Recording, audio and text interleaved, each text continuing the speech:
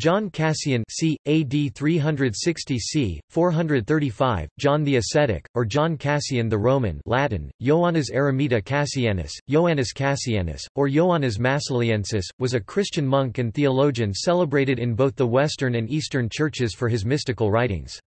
Cassian is noted for his role in bringing the ideas and practices of Christian monasticism to the early medieval West. Biography Cassian was born around 360, most likely in the region of Scythia Minor now Dobruja, a historical region shared today by Romania and Bulgaria, although some scholars assume a Gallic origin. The son of wealthy parents, he received a good education, his writings show the influence of Cicero and Persius. He was bilingual in Latin and Greek. Cassian mentions having a sister in his first work, The Institutes, with whom he corresponded in his monastic life. She may have ended up with him in Marseille. As a young adult, he traveled to Palestine with an older friend Germanus, with whom he would spend much of the next 25 years. There they entered a hermitage near Bethlehem. After remaining in that community for about three years, they journeyed to the desert of Scete in Egypt, which was rent by Christian struggles. There they visited a number of monastic foundations. Approximately 15 years later, about 399, Cassian and Germanus faced the anthropomorphic controversy provoked in letter form by Theophilus, Archbishop of Alexandria. Cassian noted that the majority of the monks received the message of their patriarch, with bitterness, and charged Theophilus with heresy for impugning the plain teaching of the Holy Scripture. Following an unsuccessful journey to Alexandria to protest the matter, Cassian and Germanus fled with about 300 other Origenist monks. Cassian and Germanus went to Constantinople, where they appealed to the Patriarch of Constantinople, John Chrysostom, for protection. Cassian was ordained a deacon and was made a member of the clergy attached to the Patriarch while the struggles with the imperial family ensued. When the Patriarch was forced into exile from Constantinople in 404, the Latin-speaking Cassian was sent to Rome to plead his cause before Pope Innocent I. While he was in Rome, Cassian accepted the invitation to found an Egyptian-style monastery in southern Gaul, near Marseille. He may also have spent time as a priest in Antioch between 404 and 415. In any case, he arrived in Marseille around 415. His foundation, the Abbey of Saint Victor, was a complex of monasteries for both men and women, one of the first such institutes in the West, and served as a model for later monastic development. Cassian's achievements and writings influenced Benedict of Nursia, who incorporated many of the principles into his monastic rule, and recommended to his own monks that they read the works of Cassian. Since Benedict's rule is still followed by Benedictine, Cistercian, and Trappist monks, John Cassian's thought still exercises influence over the spiritual lives of thousands of men and women in the Latin Church. Cassian died in 435 at Marseille. Writings Cassian came very late into writing and did so only when a request was made by one or more important persons. His sources were the same as those of Evagrius Ponticus, but he added his own ideas, which were arranged in extensive collections. Evagrius was, however, the single most important influence on Cassian's ideas, due to his reverence for the Origenist monks who also relied predominantly on Evagrius of Nitria, Kellia, and Scetis. Around 420, at the request of Bishop Castor of Apta Julia in Gallia Narbonensis, Cassian wrote two major spiritual works, the De Institutis Coenobiorum, Institutes of the Coenobia and the Conlationes, or Collationes Patrum in Scetica Eremo, Conferences of the Desert Fathers. In these, he codified and transmitted the wisdom of the Desert Fathers of Egypt. The institutes deal with the external organization of monastic communities, while the conferences deal with the training of the inner man and the perfection of the heart. The institutes were meant to help Castor to establish a coenobium following the model of Egypt, in contrast to the existing monastic life in Gaul, which included the work of Martin of Tours and Caesarius. According to Hugh Feiss the institutes are a counterweight to Sulpicius Severus' Life of Martin and Dialogues, and are an attempt to put order into a movement Cassian regarded as chaotic. Cassian, who insists on manual work, had a higher opinion of and close ties with the monastery on the island of Lerins, founded by Honoratus. In books 1 to 4 of Institutions, Cassian discusses clothing, prayer, and rules of monastic life. Books 5 to 12 are rules on morality, specifically addressing the eight vices: gluttony, lust, greed, hubris, wrath, envy, listlessness, and boasting, and what to do to cure these vices. In the Institutions, Cassian discusses a will that is more complex than the will at the heart of the Pelagian message. Willful monks are a contentious problem, and Cassian paid considerable attention to analyzing the will, treating the corrupt will, and chiefly subordinating even the good will for the good of the community and ultimately, the will of God. The conferences, dedicated to Pope Leo, to the Bishop of Frejus, and to the monk Helladius, summarize important conversations that Cassian had with elders from Scetis about principles of the spiritual and ascetic life. This book addresses specific problems of spiritual theology and the ascetic life. It was later read in Benedictine communities before a light meal, and from the Latin title, collationes, comes the word collation in the sense of light meal. His books were written in Latin, in a simple, direct style. They were swiftly translated into Greek, which indicates the Eastern monks recognized him as one of their own. Spirituality The desert ascetics of Egypt followed a three-step path to mysticism, purgatio, illuminatio, and unitio. These stages correspond to the three ways of later Catholic theology. During the first level, purgatio in Greek, catharsis, young monks struggled through prayer and ascetic practices to gain control of the flesh, specifically by purging their gluttony, lust and desire for possessions.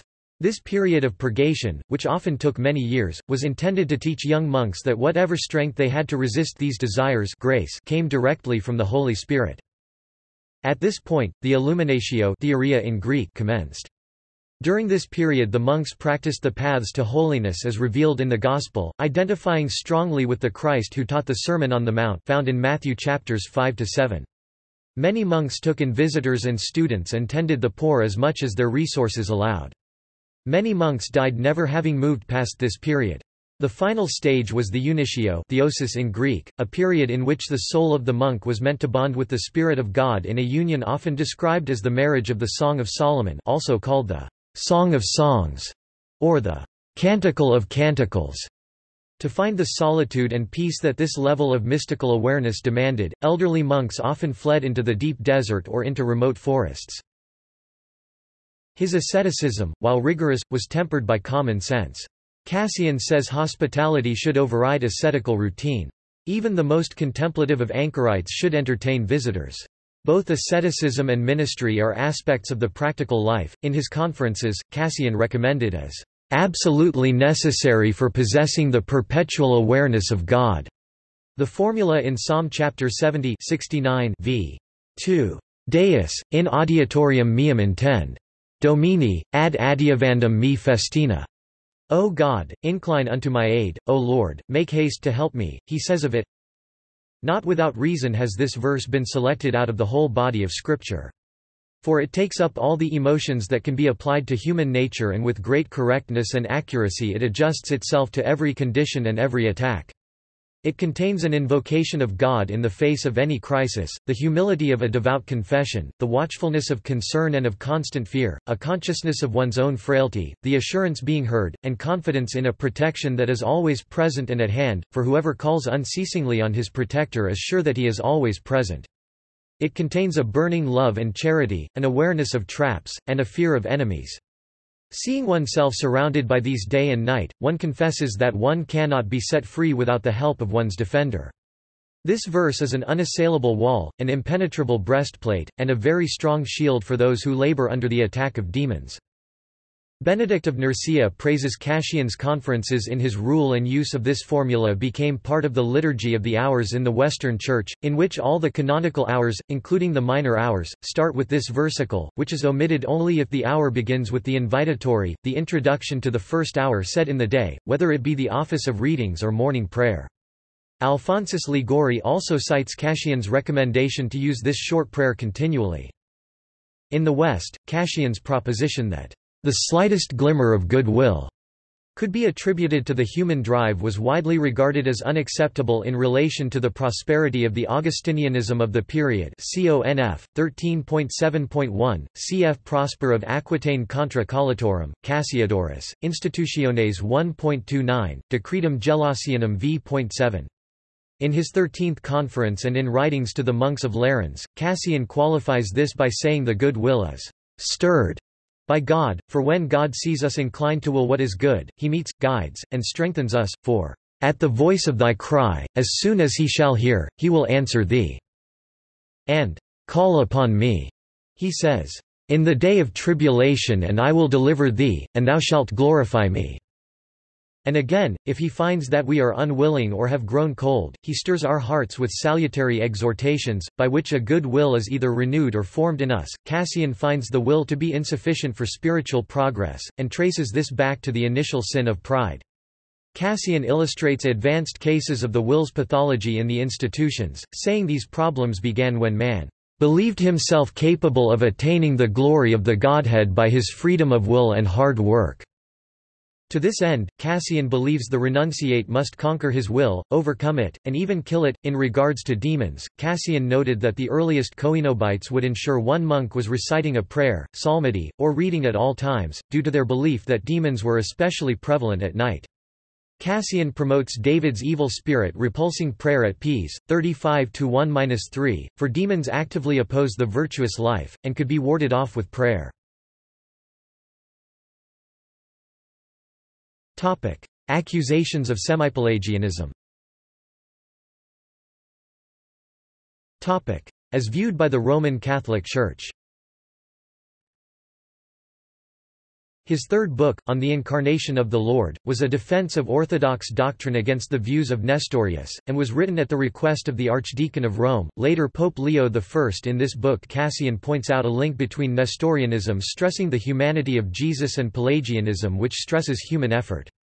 Later theologians, however, labeled Cassian as semi-Pelagian because he stressed the role of the human will, as opposed to Augustine's stress on the totality of grace, in moving towards salvation. The ideas expressed by Cassian to which critics have pointed as examples of his alleged semi-Pelagianism are found in his conferences, in Book 3, The Conference of Abbot Paphnutius, Book 5, The Conference of Abbot Serapion, and most especially in Book 13, The Third Conference of Abbot Chaeremon.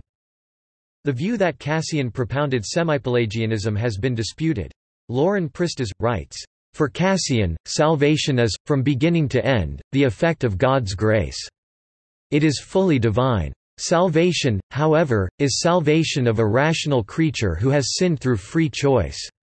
Therefore, salvation necessarily includes both free human consent in grace and the gradual rehabilitation in grace of the faculty of free choice. Thus Cassian insists salvation is also fully human. His thought, however, is not semi-Pelagian, nor do readers who submit to the whole corpus emerge semi-Pelagians. And Augustine Casiday states that, for Cassian, Although sparks of goodwill may exist which are not directly caused by God, they are totally inadequate and only direct divine intervention can ensure our spiritual progress. The Latin Church condemned semi-Pelagianism in the local Council of Orange 529, but recognizes Cassian himself as a saint. It did not endorse Augustine entirely and, while later Catholic theologians accepted Augustine's authority, they interpreted his views in the light of writers such as Cassian. As viewed by the Eastern Orthodox Church Augustine Casiday states that Cassian baldly asserts that God's grace, not human free will, is responsible for everything which pertains to salvation even faith. Some other Orthodox, who do not apply the term semi-Pelagian to their theology, criticized the Roman Catholics for allegedly rejecting Cassian, whom they accept as fully orthodox, and for holding, as, in Casiday's interpretation, that everything which pertains to salvation comes from God's grace, and so that even the human consent to God's justifying action is itself an effect of grace. This position of the Roman Catholic Church and of Cassian as interpreted by Casiday is attributed by Eastern Orthodox theologian George Florovsky also to the Eastern Orthodox Church, which, he says, always understood that God initiates, accompanies, and completes everything in the process of salvation, rejecting instead the Calvinist idea of irresistible grace. Neither Cassian nor any of his teachings have ever been directly or indirectly called into question or condemned by Eastern Orthodox, as they are considered a witness to the Orthodox position. In John Cassian's writings In the Book of Mystical Chapters, a compilation of sayings of the Church Fathers by renowned theologian and early church historian John Anthony McGuckin, Cassian is quoted as saying the following. Other views. According to some scholars, Cassian is a prominent representative of a monastic movement in southern Gaul which, ca. 425, gave expression to the soteriological view that much later was called semi-Pelagianism. This emphasized the role of free will in that the first steps of salvation are in the power of the individual, without the need for divine grace. His thought has been described as a middle way between Pelagianism, which taught that the will alone was sufficient to live a sinless life, and the view of Augustine of Hippo, which emphasizes original sin and the absolute need for grace. For instance, Anglican priest and historian Owen Chadwick stated that Cassian held that man can come to God without the intervention of divine grace first. 3 and the Presbyterian theologian B. B. Warfield called Cassian the leader of the monastics in southern Gaul who asserted that men begin their turning to God and that God assists that beginning. Influence The spiritual traditions of Cassian had an immeasurable effect on Western Europe. Many different Western spiritualities, from that of Benedict of Nursia to that of Ignatius of Loyola, owe their basic ideas to Cassian. Pope Gregory I's teaching on the seven deadly sins comes from Cassian, as does much of his teaching on compunction and prayer. Philip Neri used to read Cassian to the laity and would frequently use his work as the starting point for his own addresses. He also influenced John Climacus and John of Damascus, as well as Saint Dominic, Francis de Sales, and John Henry Newman. Cassian's writings stress the role of prayer and personal asceticism in attaining salvation by contrast with Augustine's writings which stress the role of God's justice and grace predestination and take a more negative view of human effort. His teaching on overcoming the eight evil tendencies see books 5 to 12 of the Institutes were the inspiration behind the way the Irish monks practiced asceticism, as shown in the Irish penitentials. The Institutes had a direct influence on organization of monasteries described in the Rule of Saint Benedict. Benedict also recommended that ordered selections of the conferences be read to monks under his rule. Moreover, the monastic institutions Cassian inspired kept learning and culture alive during the early Middle Ages, and were often the only institutions that cared for the sick and poor.